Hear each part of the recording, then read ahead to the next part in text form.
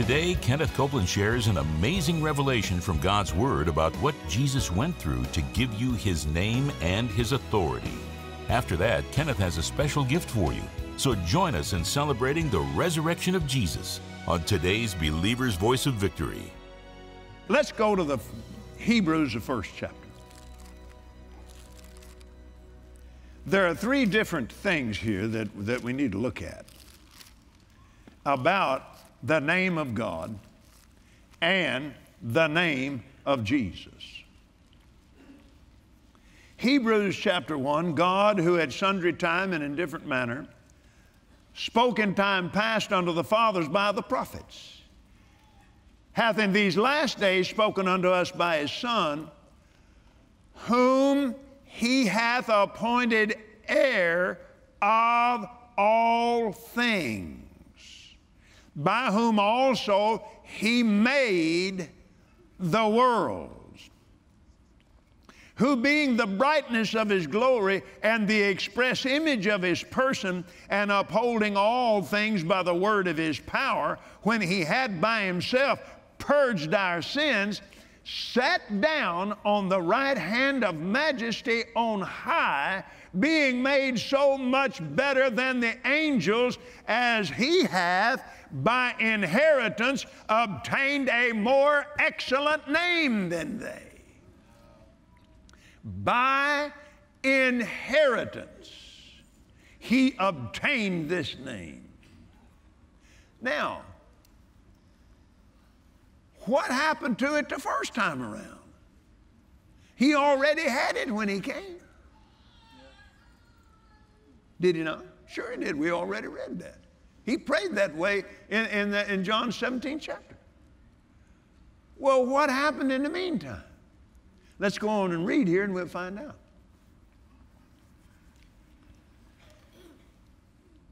For unto which of the angels said he at any time, Thou art my son, this day have I begotten thee, and again I will be to him a father. Do you see that?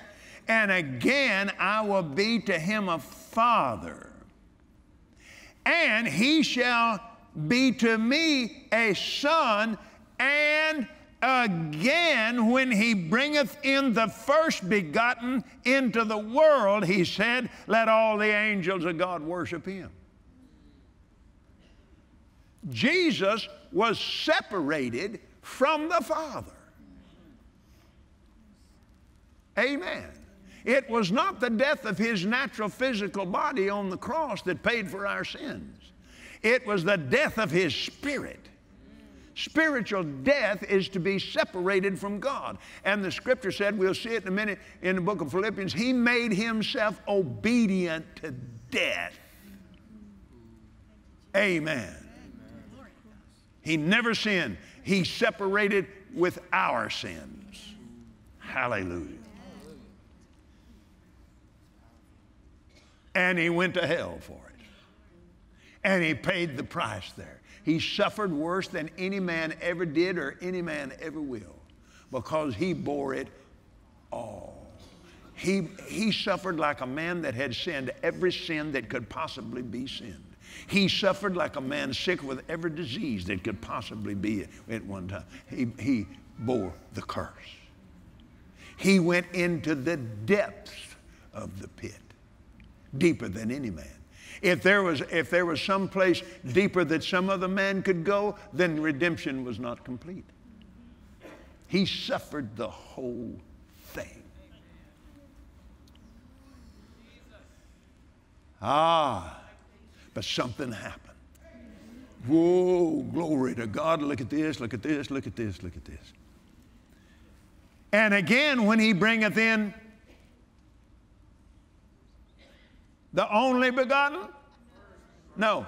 First begotten into the world, he said, Let all the angels of God worship him. Beginning right here are the words that God the Father spoke, and these are the words that burst through hell where Jesus is being tormented like none other before him. All of hell on him at one time in an attempt to annihilate him forever. These are the words that split the bowels of this earth and went right down in there while all the demons of hell are piled in on top of his emaciated, twisted spirit. Because the 52nd chapter of the book of Isaiah said he was marred so that his form no longer looked like a man. That's what happened to Jesus in hell. Wow. He no longer even looked like a man. His spirit was so, so marred, is the word that, that Isaiah 52 14 used. It was so marred so twisted. What? All the sin there is, all the sickness there is, the whole curse, you think that won't tear you up? Oh my God. Anyway, I told you all of that to get you over to this place. To have an understanding of what was happening in hell when Jesus was suffering there. And I'm telling you, every demon of hell pressure in him and in the midst of that, three days and nights of it, in the midst of that, suddenly, he bringeth in the first begotten into the world. He said, Let all the angels of God worship him. And of the angels, he said, Who maketh his angels spirits, his ministers a flame of fire. But to the Son, he saith, Thy throne, O God, is forever a scepter of righteousness is the scepter of your kingdom. You have loved righteousness and hated iniquity. Therefore, God, even your God, hath anointed thee with the oil of gladness above your fellows. And you, Lord, in the beginning laid the foundation of the earth, and the heavens are the work of your hands. They'll perish, but you remain. They'll wax old as doth a garment, and as a vesture you'll fold them up, and they'll be changed. But you are the same name, and your years will not fail. Those are the words that got him born again. Hallelujah. Hallelujah. Whoa. Thank God. Now then, I, I, want you to look at something here from um, 1 Timothy chapter 3. Now we're dealing here with two different areas at once. We have seen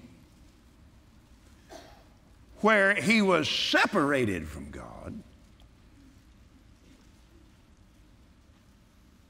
You remember he said that. My God, my God, why hast thou forsaken me? What most people don't understand, he wasn't just crying something. You know, he said, I only say what I hear my father say. The one whom God sent spoke the words of God. Therefore, he gave him his spirit without measure.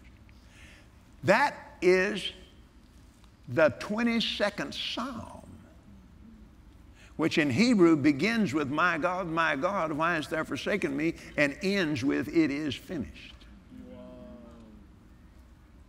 So he latched on to that word. You can read that 22nd Psalm and find out everything that happened to him in hell. And he, he stayed with that psalm all the way through that whole thing. And he used the joy of the Lord as his strength. Now, when these words came forth, now we see what happened here. Number one, he inherited his name. Number two, he took his name by awful combat in hell. First Timothy, well, you, I told you to turn over there and then I didn't do it. First Timothy chapter 3. I want you to look at this now. Look at the 16th verse. Without controversy, great is the ministry, mystery of godliness. God was manifest in the flesh and justified or made righteous in the Spirit. Now, when was he manifested in the flesh? In Bethlehem. Amen? That's when he became flesh and dwelt among us. The Word took upon itself flesh. But he was justified or born again in hell. His spirit had to be recreated. If his hadn't been recreated, yours and mine never could have been. He's the number one. He's what? The firstborn from the dead. He's got firstborn rights too. Did you know we're joint heirs with him? Now, the third thing number one, he inherited his name. So his name had to be exactly the same if he inherited it, right? So, number two, he achieved the power and authority in his name through conquest. Amen. He defeated all of hell. He defeated the devil and everything he has and took it away from him. And he said, All power has been given unto me, both in heaven and in earth. Therefore, you go in my name. Huh? oh, yeah.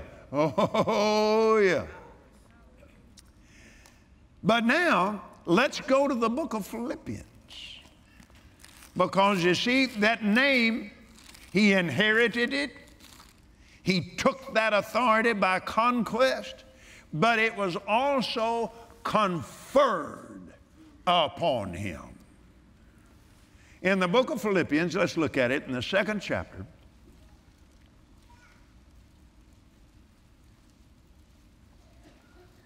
Verse 8 being found in fashion as a man, he humbled himself and became obedient unto death, even the death of the cross.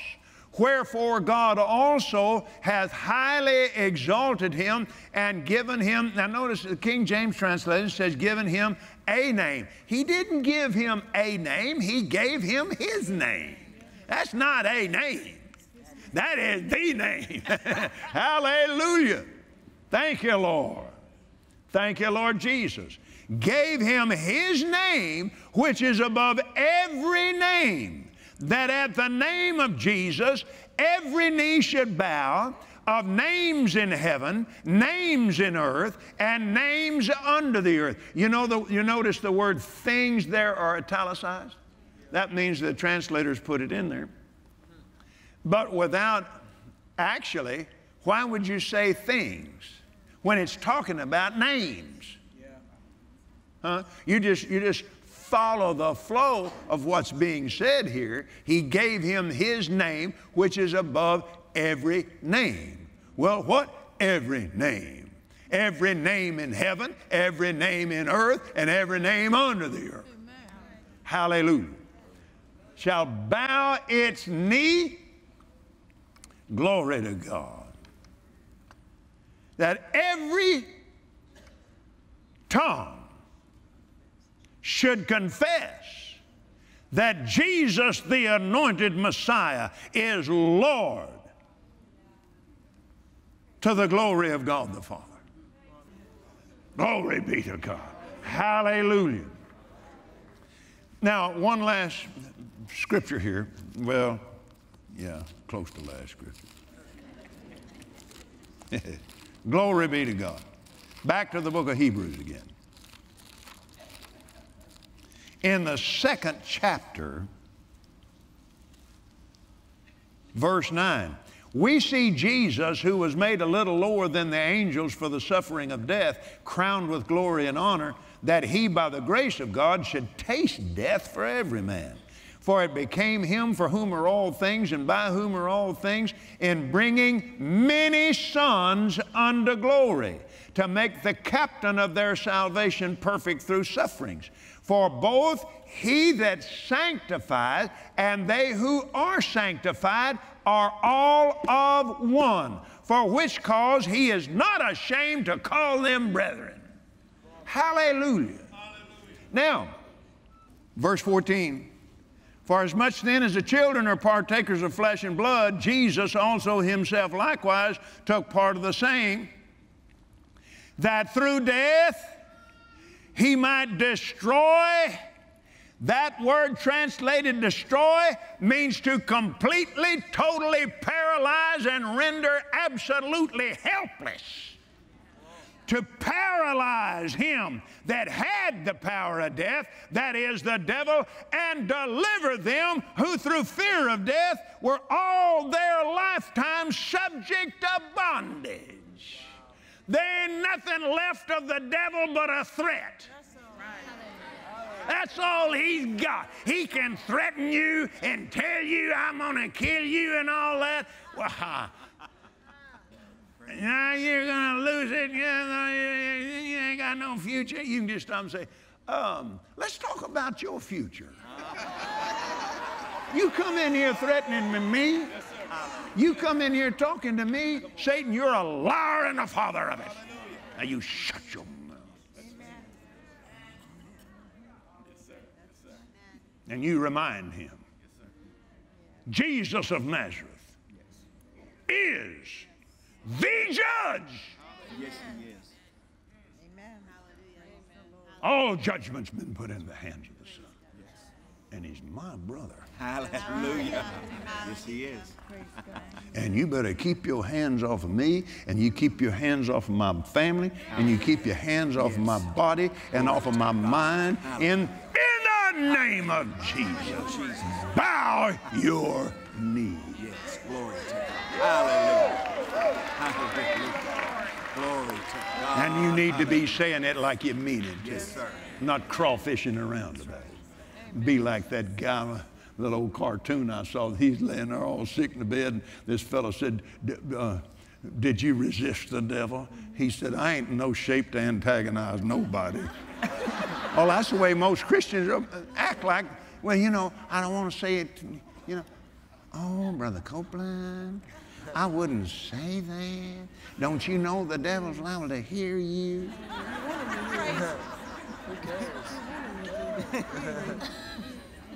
There's a friend of mine that, that, that was some of his kinfolks that talking about me said, I give that, that young fella about five years. He said, I guarantee you the devil's going to take his challenge. So he went back and talked to him five years later. He said he's still going. Well, it won't last another five years. Well, it's been about 40 since then. Not getting weaker, getting stronger. This is the message of the church of Jesus Christ. Come on, give the Lord a praise.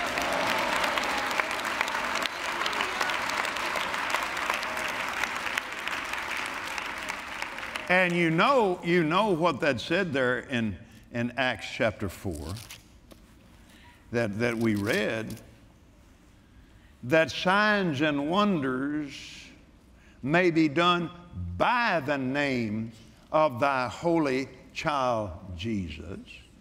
But now back up to the, to the uh, 12th verse.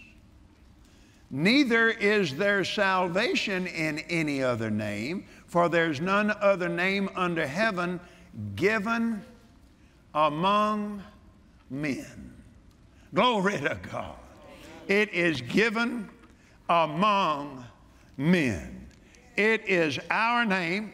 It's been given to us. And when we find this out and begin to use it, praise God, we begin to govern the devil and all of his affairs and put a stop to him in Jesus' name.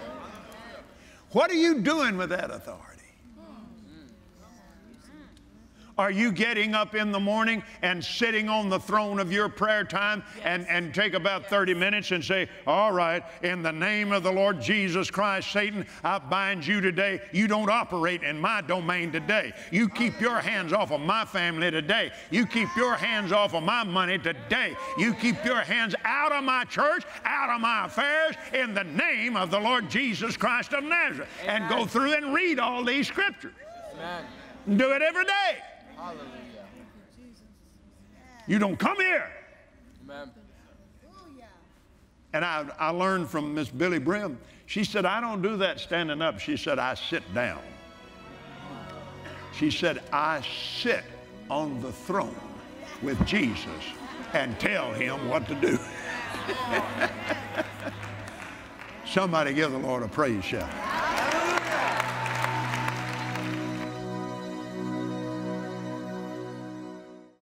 This is Resurrection Sunday. Hallelujah. Praise God.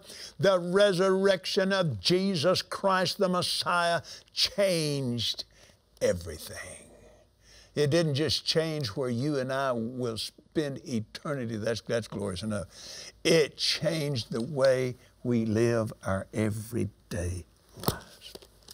In victory, Thanks be unto God who always gives us the victory. Now, what victory was that talking about when Paul wrote, the Apostle Paul wrote that to the church at Corinth? He's talking about victory over death. Hallelujah. This is the most powerful thing that's ever happened or ever will happen. Amen. Glory to God. I want to send this to you. Resurrection truth. This is a two CD set. Now, I want to sow this as a gift into your life. I, I just want to take my time here where, where you get the impact of this. I want you to call us. I want you to go to our website. I want you to, excuse me, I want you to ask for your copy. I'm going to send it to you absolutely free. No expense, no excuse. Huh? Amen. Hallelujah. Let me read you something here from the the last chapter, the 24th chapter of Luke, and uh, verse 49 Behold, I send the promise of my Father upon you, but tarry ye in the city of Jerusalem until you be endued with power from on high. And he led them out as far as Bethany, and he lifted up his hands and he blessed them. Now, what did he say?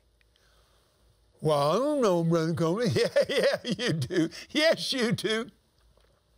Yes, everything he ever said when he blessed.